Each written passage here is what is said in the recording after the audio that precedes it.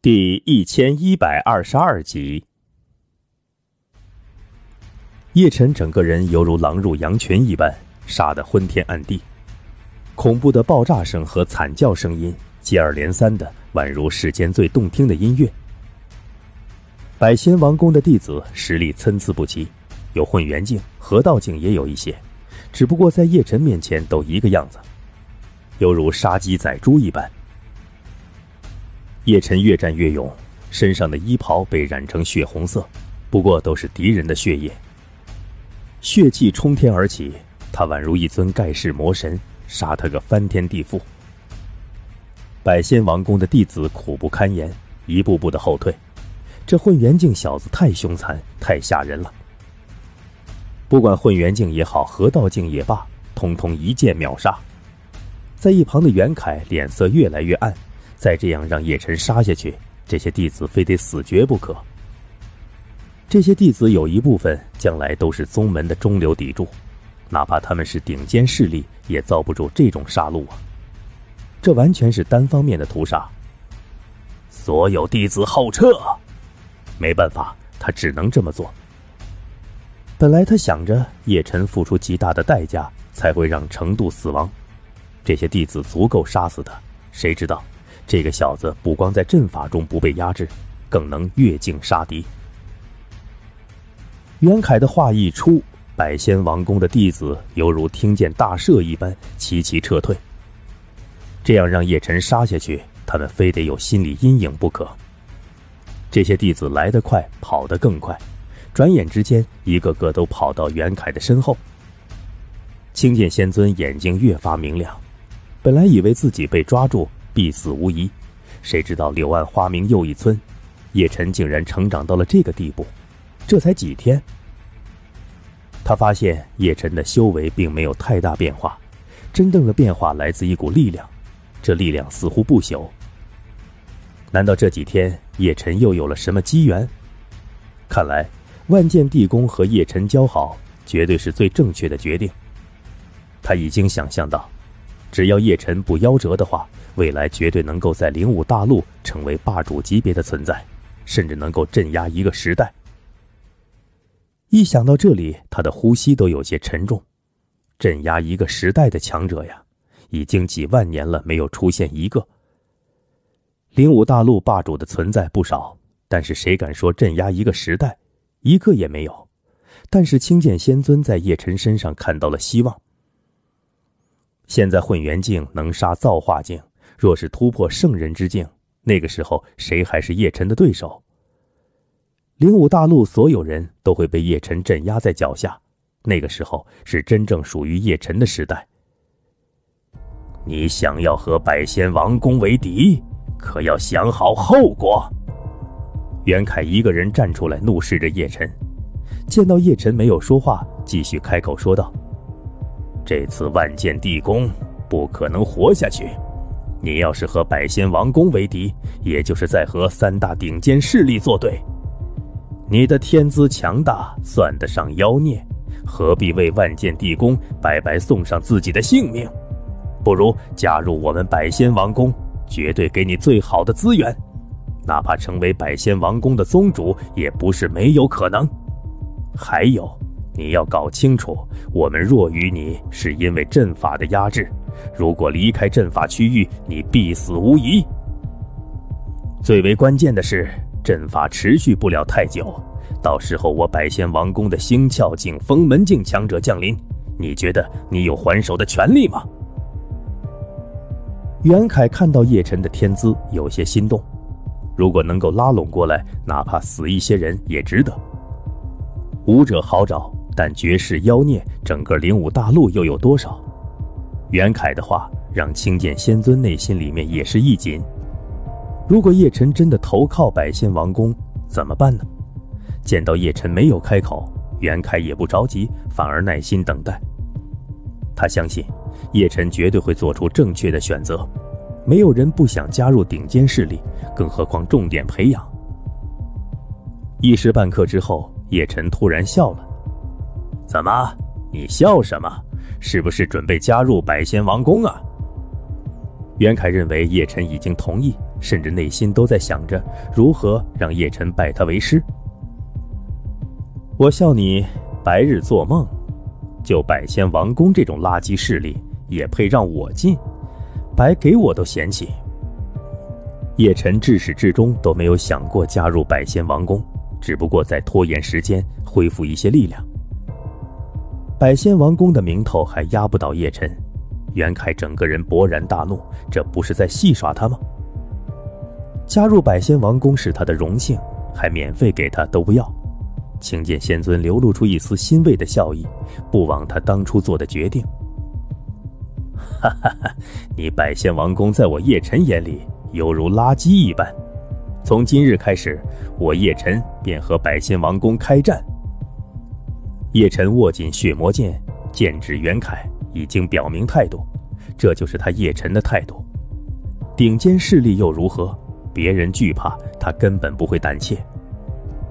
若是叶晨害怕这些势力，也不会在西域闹得翻天地覆。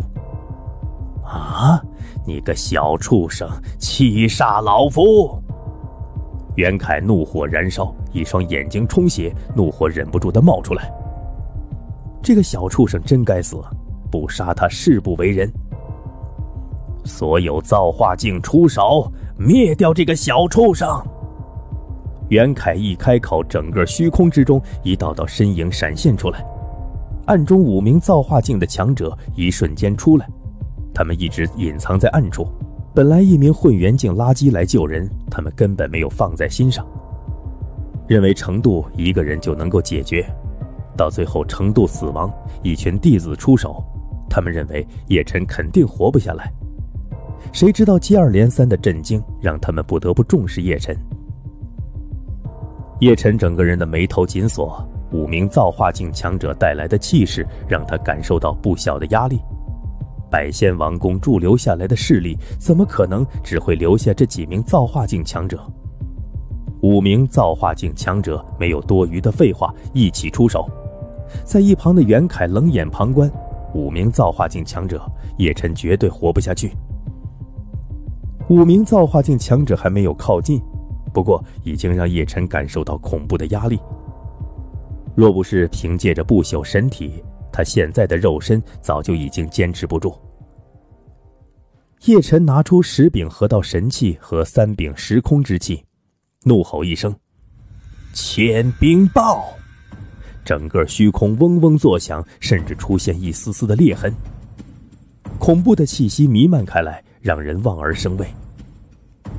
爆炸的声音让百仙王宫的弟子发出痛苦不堪的惨叫，甚至混元境的武者直接被震死，哪怕河道境也是拼命的抵挡，耳膜都在不断的流血。叶辰一口血水喷出来，整个人的脸色煞白，他的神魂之力一下子受到重创。爆炸的声音连绵不绝，但是叶辰心里清楚，想要杀死五名造化境强者根本不现实。血龙虚影，出来！一道龙吟响彻，苍穹之上瞬间出现一条血龙。血龙俯视凡人，披靡天下。血龙瞬间来到叶辰的身前，死死的守护。五名造化境的身体上面都流着血液，看到叶晨的一瞬间，再也忍不住冲杀过去。小畜生，给我死！千冰豹虽然没有炸死他们，不过也让这些人受到不小的伤势。被一个混元境炸伤，耻辱啊！这些造化境强者不管不顾，一个个神通打在叶晨的身体上面。血龙浓重的血气覆盖一切，仿佛形成了一道护盾，死死地笼罩在叶晨的身前。这一刻，叶晨的肉身得到极大的增强，不管不顾，犹如搏命的气势，疯狂地冲杀过去。一人一龙携带着滔天之势，伴随着一声龙吟，血龙虚影冲到一名造化境强者面前，张开嘴巴咬住他的手臂。畜生，给我死！造化境强者吃痛的怒吼一声，一巴掌拍在血龙虚影的身体上面，根本没有任何作用。血龙虚影龙威一扫，威震八方。固然血龙虚影强大，但是面对这么多被压制的造化境强者也难呢。几名造化境强者的神通直接打在叶晨的身体上面，让叶晨不断后退。如果不是不朽的身体，叶晨恐怕早就血肉模糊了。一人一龙，抗衡一切。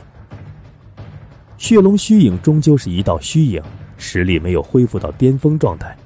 他知道自己该做什么。承受住造化境强者的力量，他直接撕裂了一个造化境强者的手臂。在撕扯下来的一瞬间，血龙张开巨嘴，一片片龙鳞竟然吐了出来，带着燎原之势，一片片龙鳞带着恐怖的气息，宛如一柄柄利刃飞射而去。那名造化境的强者本来就被叶辰的千冰爆炸伤，更是失去一条胳膊，还没有反应过来，这条龙鳞早就已经在顷刻之间落下。